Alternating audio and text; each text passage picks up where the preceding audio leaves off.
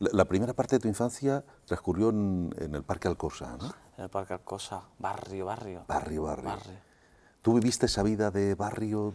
Sí, yo tenía, yo era un poco, siempre he sido un poco mm, extra- eh, extraño, ¿sabes? En el medio, ya en mi familia, en, en todo, siempre me sentía ahí como queridísimo, ¿no? Y, y- pero siempre un poco ajeno, decir yo, esto, mm, hay otro sitio que es más afín a mí, ¿sabes? Y siempre buscar, intentando salir de ahí, y fue una de mis cosas, ma- mm, de mis aciertos casuales, fue salir, irme del, no al instituto que estaba a la puerta de mi casa, sino a uno que estaba más, más lejos, donde conocía a otro tipo de gente que no era, que no era tan de barrio, otro tipo de, ¿sabes? De repente eso te abría, de repente un, un alma viajera, ¿sabes? De, de conocer otras cosas. Mi padre se, ha dedicado ahí a la hostelería, tiene una venta y tiene, pero y, sí que en, esta, en toda la familia de mi padre, desde sus tíos que eran payasos y toda esta familia del circo y tal,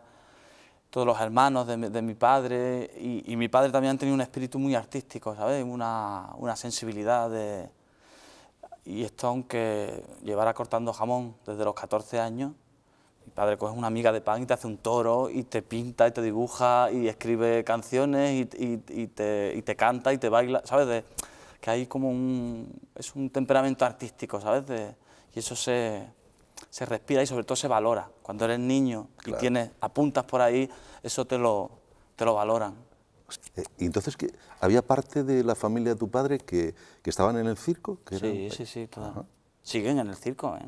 Sí, abuelo Pepe era el payaso eh, viejo que tiene que le dieron recientemente un, un- la nariz de oro de Charlie River, que es un, galardón así pa- para payasos veteranos.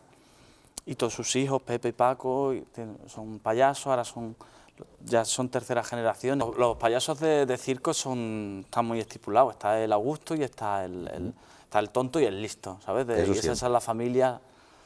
Y, y- y mi tío Pepe, bueno, hacían Pepe y Paco, era uno el tonto y era otro el listo. Después habían hecho tríos, ha habido muchas formaciones por ahí. Y siguen actuando con el Circo Mundial. Con... ¿Tú ibas de pequeño a verlos?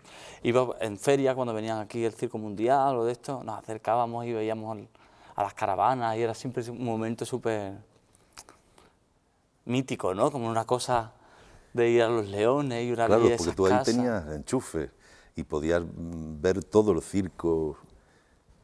Sí, sí, pero una, cosa muy fascinante ¿eh? desde de niño ver. Y sobre todo estos, estos primos segundos que también eran de mi edad. Yo recuerdo con, pues, con otro niño, que yo no sé lo que me tocaba, pero era mi familia del circo y era también 10 años. Y, y me decía, mi, mi madre es equilibrista y la tuya. Y decía, joder, la mía no es nada. La mía es madre. ¿Sabes? Y, daba, y tenían esos acentos raros que tiene la gente de circo, que, es, que son como de franceses y como del este, y como que tienen un acento que no es de ningún sitio. Y de todo, es una mezcla de acentos.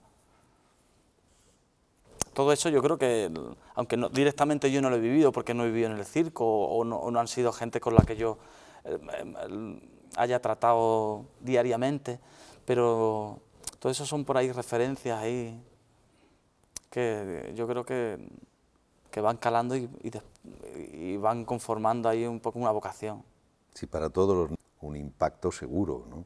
Que te... Sí, era la cosa del maquillaje, de repente las narices.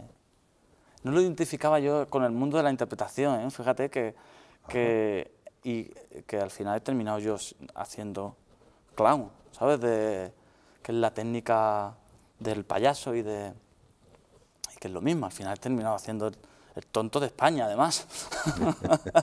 el más tonto de España. Pero, pero de pequeño no identificaba el circo, ¿sabes? Los payasos como con los actores y tal, y es lo mismo, es lo mismo, claro.